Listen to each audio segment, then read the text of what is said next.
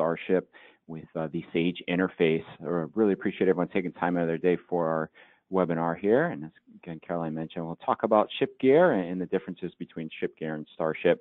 Mainly going to try to focus really on the advanced features of Starship. Uh, but game plan, real quick uh, PowerPoint slideshow we'll go through, and then we'll jump into the live demo, process a quick shipment so you can see how actually Starship works. So with that being said, let me start the uh, slide deck here. Uh, just to start out a little bit about V Technologies, uh, we've been developing integrated shipping solutions since 1989, so 29 years now. Uh, been working with the Sage product for over 17 years, so that deep integration with the Sage product line. Uh, currently over 10,000 customers using Starship. Uh, we are a FedEx Gold certified solution as well as a strategic UPS ready provider. Uh, I mention this because both FedEx and UPS have subsidy programs, and through these programs, you can actually qualify for free funding to purchase Starship. So, any questions on that, please feel free to reach out to your uh, carrier rep and they should be able to give you additional information. Uh, and of course, we are a Sage Gold development partner as well as a Sage certified solution. Uh, V Technologies is located in Connecticut, and all of our sales, support, development, everything is done in-house. Really don't outsource anything. Okay. So, what's the difference, ShipGear and Starship? Uh, so, ShipGear is what we consider a middleware. Uh, you're actually going to, with ShipGear, still be using your carrier provided software, so UPS WorldShip, FedEx Ship Manager. Um, unfortunately, it is only available for FedEx and UPS, not going to be able to do any parcel or USPS shipments through ShipGear. Um, it is really just uh, order header information, not going to be generating any line item detail. Uh, it is going to give us limited ERP write back. So with Sage, really, uh, when I process a shipment through ShipGear, going to just be writing back um, a comment line with, say, tracking information. A freight amount will go into the freight amount field, uh, but again, kind of a, a limited write back. There is no third-party application, so if you're looking for, say, EDI or uh, WMS or warehouse management solution integration, I'm not going to be able to do that with ShipGear. And of course, the last two bullet points, no rate shopping and no batch processing. Um, so with Starship, and most of these I'll get into, we'll, we'll, go over that in the live demo, but we can do rate shopping. That can be right from Starship. It can be um, also right from sales order entry. So nice thing, we add a rate shop button. So at time of order, customer service reps or order takers can actually see live rating uh, for your carriers that you have modules with um, at time of order. Okay.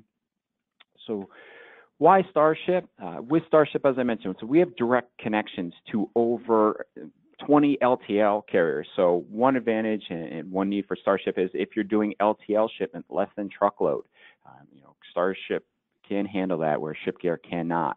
Um, so we do have over 20 different LTL carriers uh, that, again, we have that direct connection. So from Starship, from sales order entry inside of Sage, I can click a button and actually get returned and see my live negotiated rates that I have with those carriers.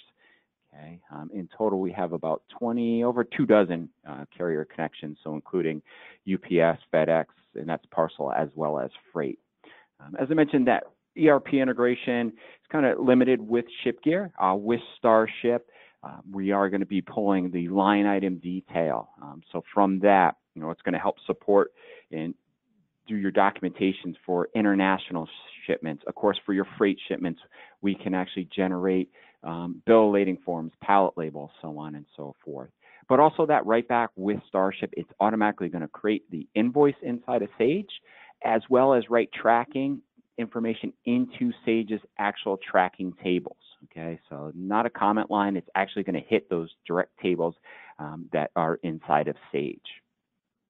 Some additional features that are included with Starship, and again in the demo I'll, show you these, but uh, our e-notify program where you can actually create your own custom email templates. Uh, you know, put your brand logo on there, build your brand awareness, nice feature. And again, we'll, we'll, go into that. In our dashboard program, great reporting tool. Um, we can track from dashboard. Um, nice thing with that, again, it could be installed on as many workstations. So you can have it on, on your front office workstations. Uh, maybe someone needs to track, they have a question about an order. They can just use the dashboard program. You know, they don't have to call up the warehouse, bother those um, guys while they're working. just have access to that information right from their own website.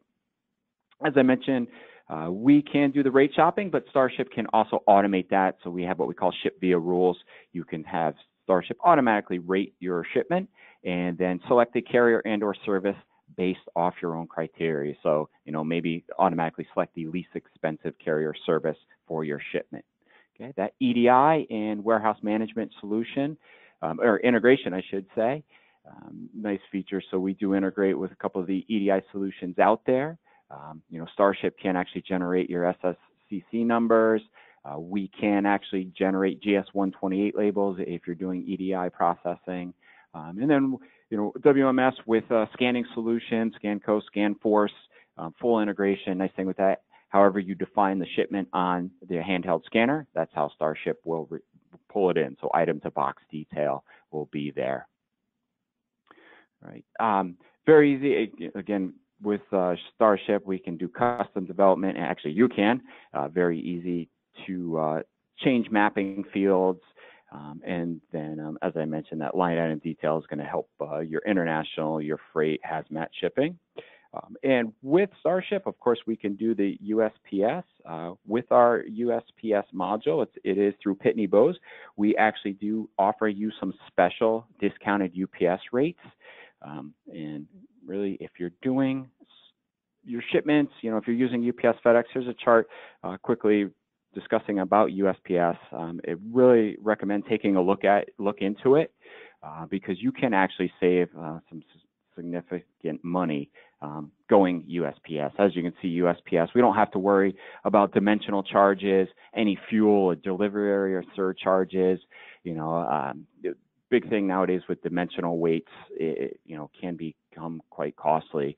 You know, for example, if you were say sending uh, from New York to California, which is considered Zone 8, uh, say a teddy bear, you know, it's going to go in say a 12 by 10 by 6 box. You know, really with through USPS and Pitney Bowes, that cost is going to be nine dollars, almost ten dollars, nine dollars and ninety-seven cents. Uh, with FedEx, you know, the actual weight would be two pounds, but again, now we're going to talk about dim weight, which is going to make it six pounds. Then, of course, you're going to have to throw in your fuel and residential surcharges. So now you're looking at oh, just over $18. So $18.04 to ship that same package. And then, of course, UPS, again, it could weigh two pounds, but dim weight is going to be five pounds. Again, those fuel and residential costs, it's going to make it the total shipment $17.17. So, you know, some nice savings there just by simply using USPS. All right. All right. So let me uh, bring up my demo machine here. We'll, we'll ship a package right from Starship. So dead center of my screen you should be able to see the Starship program. So with Starship and Sage, we actually have two different interfaces. We have a link interface where if any of you are familiar with shipping data entry, uh, you can come in through shipping data entry. Um, you know, we also have a direct interface, which I'm going to show. I always usually recommend it because, uh, of course, with Link now, our shippers are going to have to have access to Starship. You know, we're going to have to, have, I'm sorry, access to Sage. We are going to have to have Sage installed on our shipping machines. Um, and then, of course, what we're going to do is go into shipping data entry, click a Starship button, which is going to bring us to Starship, ship and process, and then have to go back to Sage. Uh, nice thing with the direct interface, my shippers can work directly from Starship. Okay, we don't have to even have Sage installed on the shipping workstations. And as you can see here, the upper left-hand corner is our source document. Okay, so we can pull by sales order, by customer number, or by invoice. These fields, I can use the magnifying glass and actually just look up all my different uh, sales orders that I have inside of Sage. And it's going to show me all that. From here, you know, I can get into with this direct in, in uh, direct interface batch processing. And so I can select as many orders as I like. I can click process selected. And then what Starship's going to do is start automatically giving me all my shipping documents, processing the orders. Um, so nice feature. A lot of clients use that like for Black Friday sales, you know, one item, one box. I'm not back ordering anything. Great feature. Um, if my pick sheets or whatever I, I'm shipping against are barcoded, I can most certainly just use a regular wedge type scanner and scan that barcode. Or as you're going to see here, I can just manually type in a sales order, invoice, or customer number. And what Starship's doing is just reaching inside of Sage, grabbing that sales order information. So again, it is going to pull the order header as well as the line item detail information. We do this by simply mapping fields. Okay, map fields can have a one-to-many relationship. So uh, here, just based off the ship via, Starship's auto automatically going to select the carrier, the service, the billing, the account information automatically for my shipper. Okay, it is multi-carrier, multi-mode. So if this was FedEx, it could go FedEx. Again, if it was an LTL shipment, it would automatically select my LTL carrier. We can also start getting into automating third-party shipments, where we're automatically selecting the customer's account information, changing the billing type to third-party or collect for your shipper. Okay, the goal here is to automate and streamline that shipping process for your shippers. Sender, that is the company that I'm pulling this order from inside of Sage. So Starship does support multiple companies as well as locations and or warehouses.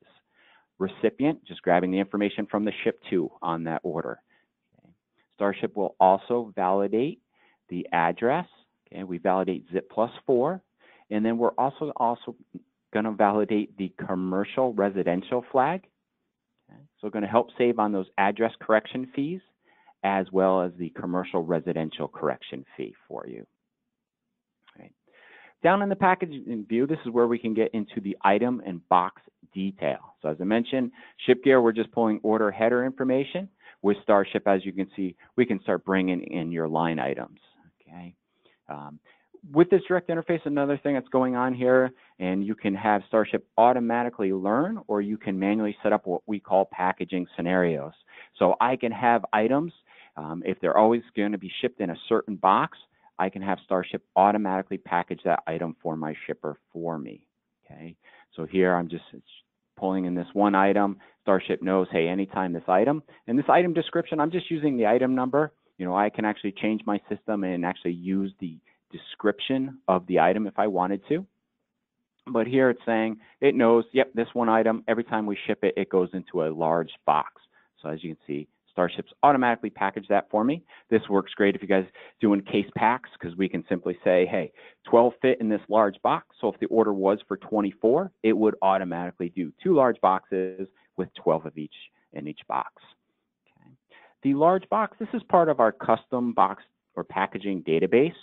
So this database allows you guys to set up your own boxes, bags, bales, pallets, what have you.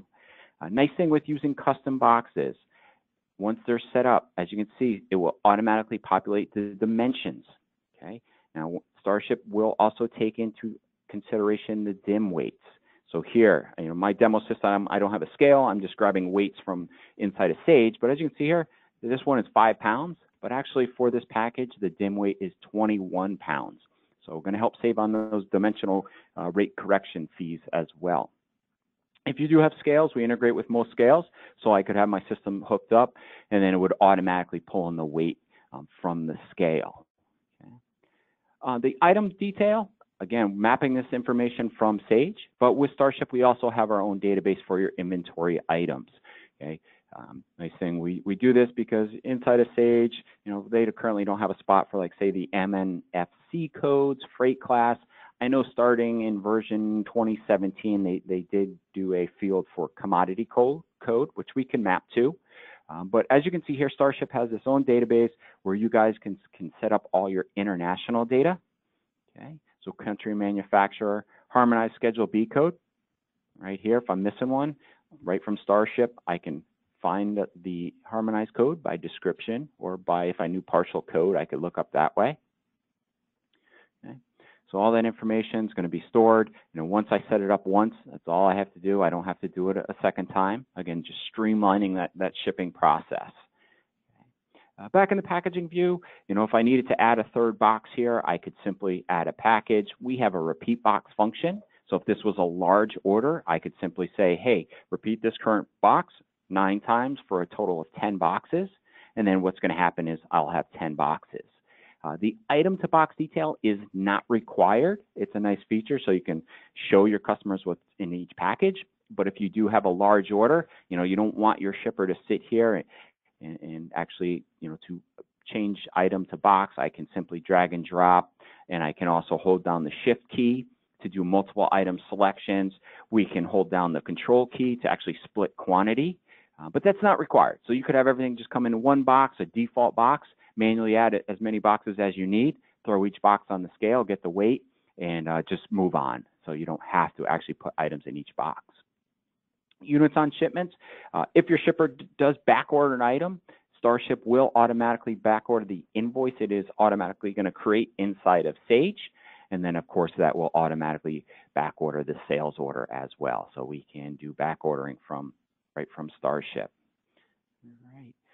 Uh, next step usually is again is that rate shopping feature. So I can, as a shipper, click the green shipping or green dollar icon here, or click the rate shop tab. And simply what this is doing again, Starship's making the call to all the carriers that I have modules with, and is going to return my live negotiated rate.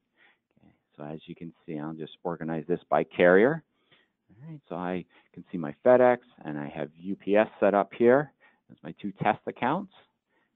I'm going to be able to see estimated delivery. I could change this, maybe do by business days, total days, and again, contract.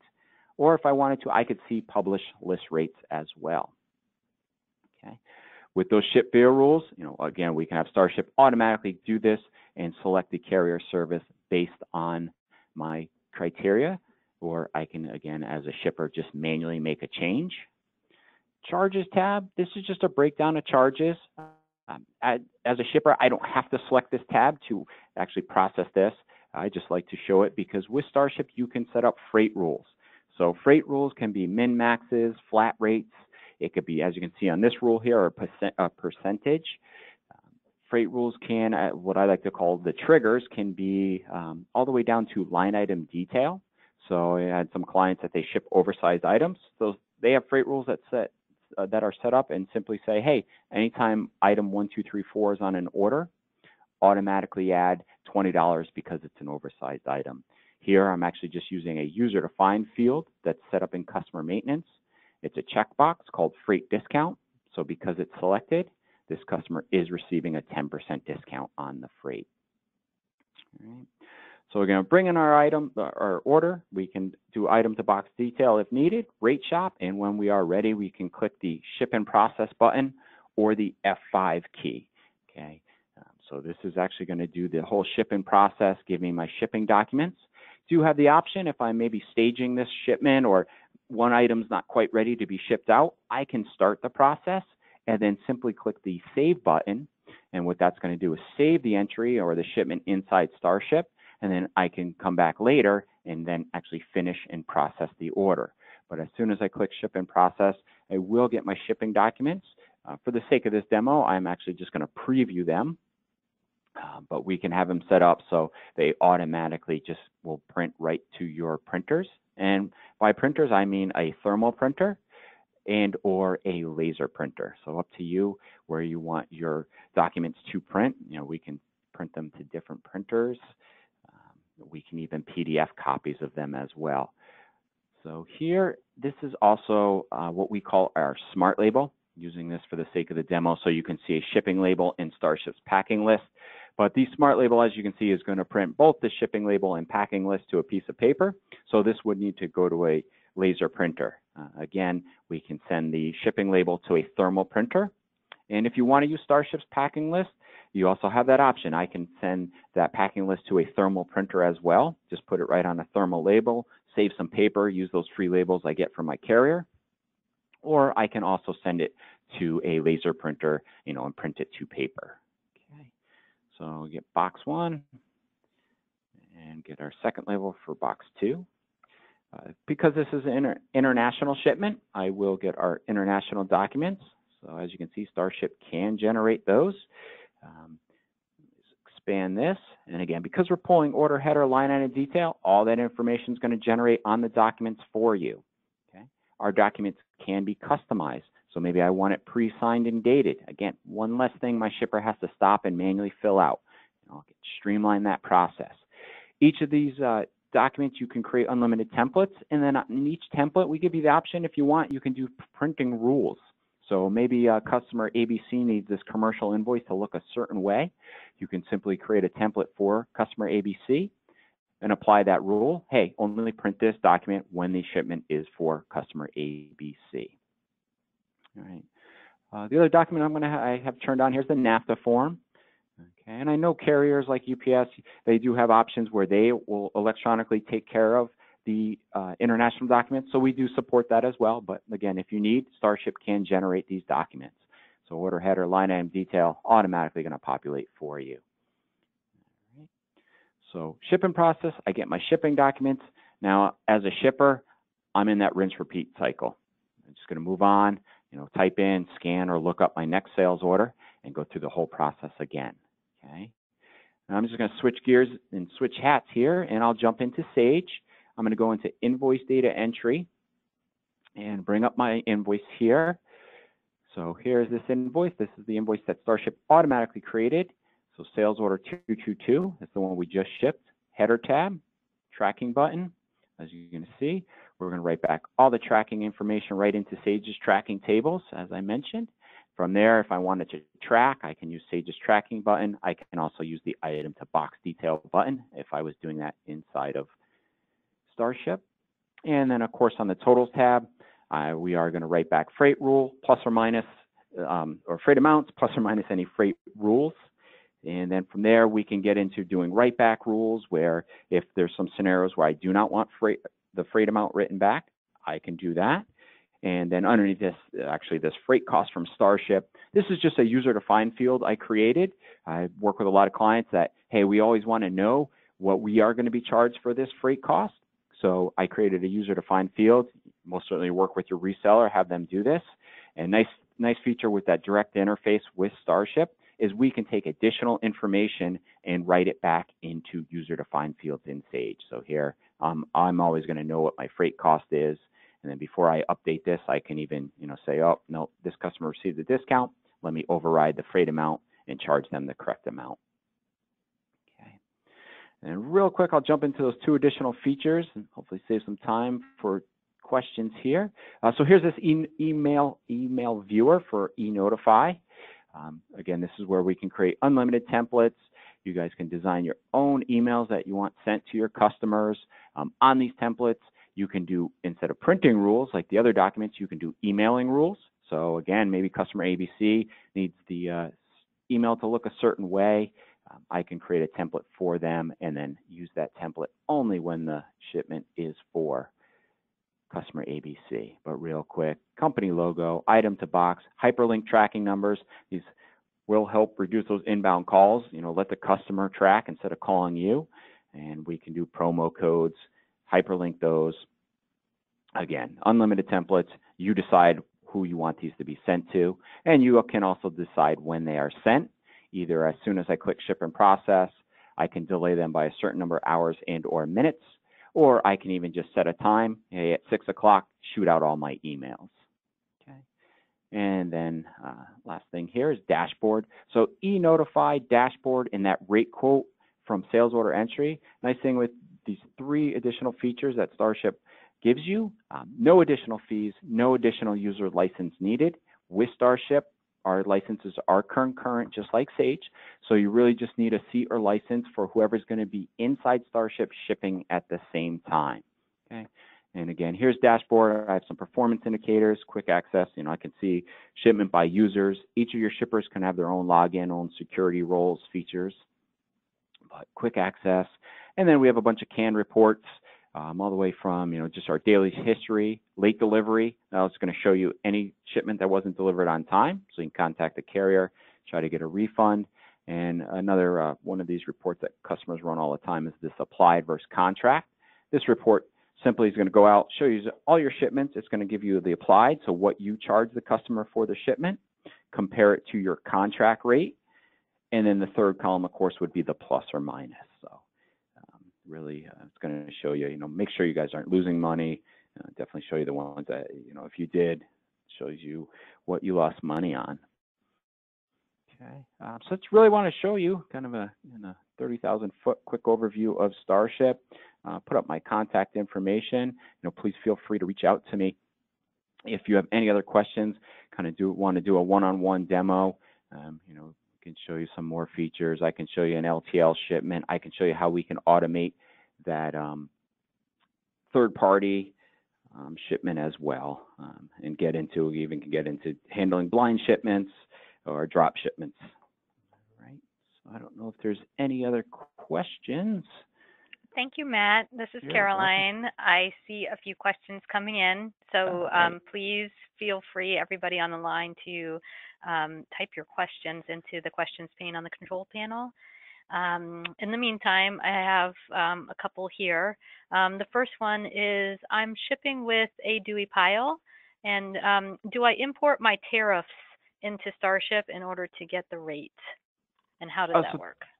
So the tariff codes yeah, can be set up um, inside uh, with Starship, um, freight class, and all the tariff codes. Again, uh, kind of its own separate database with that line item detail. Um, and so they'd be right right there inside Starship. Okay. And then I think that they might be referring to Matt with the rating, um, you know, rating with A. Duie, Oh. um, and getting their rates into Starship. So can you just um, review that too, please? Yeah. So uh, again, when I did that rating um, right from inside Starship, where I had that parcel shipment where it just showed UPS and FedEx, I would actually, if I used the A. Duie, I had their module, I would actually be able to see um, the A. Duie. It would list A. Duie, and it would show me my actual contract rate that I have with A. Duie. Um, with LTL carriers, the list rate would show zero uh, because they do not publish list rate. So it would be your actual contract rate. And again, that can either be from Starship or from sales order entry. Great, thanks.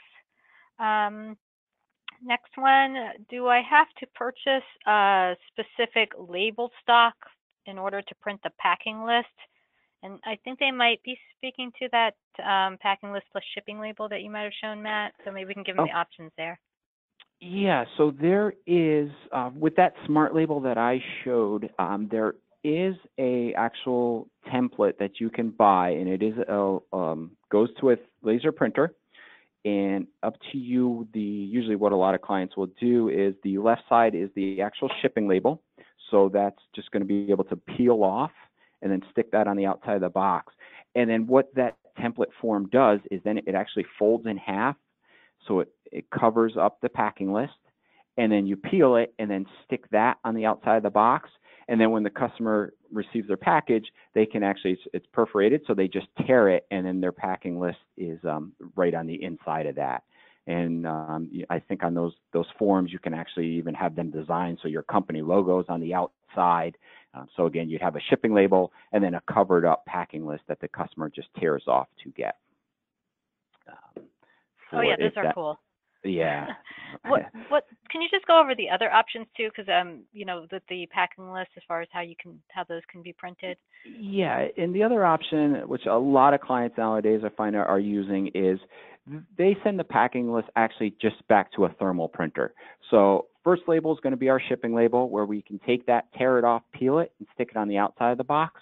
The second label is going to be the actual packing list that they just tear off. They they don't peel it, and then they just toss it inside the box.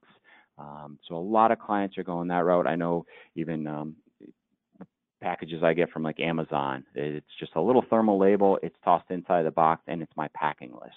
And then, of course, the third option is we can send that shipping label to a, a thermal printer or even a laser printer, and also follow the um, followed up with the actual packing list to a, piece of paper to a, a laser printer. Okay, great, thanks. Um, another question here. I'm currently using Scanco um, for my warehouse management, and how does Starship fit into this workflow? Oh, great question. So with Scanco, I kind of mentioned this earlier. Um, however you define the shipment uh, inside of the handheld device. So if I had two items, um, one in box one, one in box two, that's how Starship is going to bring in that that package. So it is however it's defined on the handheld scanner. Uh, with Scanco, we do have an enhancement, and um, let me just bring up my demo system here again quickly show you. Go back into Starship. So with Scanco, and I'm not sure if everyone's familiar how that works, basically from that handheld, what they do is create the entry inside of shipping data entry in, in Sage. Uh, so this document type would need to be set at invoice. Um, but we do have an enhancement that will still allow you to scan the sales order number or um, manually type it in, but because you're using Scanco, it's probably already barcoded. So again, just use that regular wedge type scanner. I could scan in the sales order, and then what Starship's going to automatically do is find that related invoice. Uh, again, because that shipping data entry has been made, uh, Sage automatically creates an invoice. And if I try to pull this by a sales order number in the source document as sales order, it's going to tell me, hey, that order is currently being shipped because technically it is inside of Sage.